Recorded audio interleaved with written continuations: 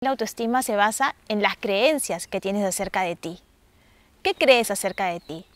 ¿Crees que eres importante? ¿Crees que eres valioso? Por ejemplo, al final del día, ¿cómo terminas tu día?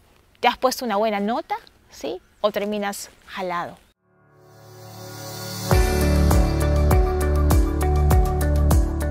¿Por qué cultivar la autoestima debe ser un hábito diario?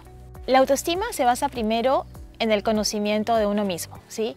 Eh, en reconocer todo lo positivo y todo lo negativo de ti y hacer un balance saludable ¿no? acerca de todas las cosas que tienes por mejorar, por superar y también tus fortalezas. Otro componente súper importante de la autoestima es la autoaceptación.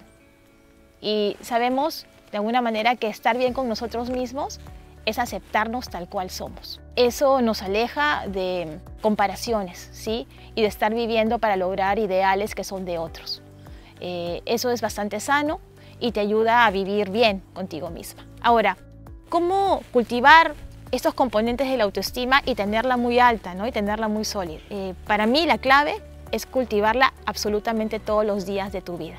Cuando lo haces bien, reconocimiento. Y cuando te ha faltado algo, pues tratar de cambiar y superar.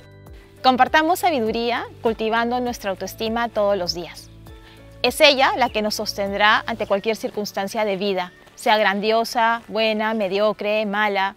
Eh, al final con autoestima vamos a encontrar opciones y vamos a salir adelante.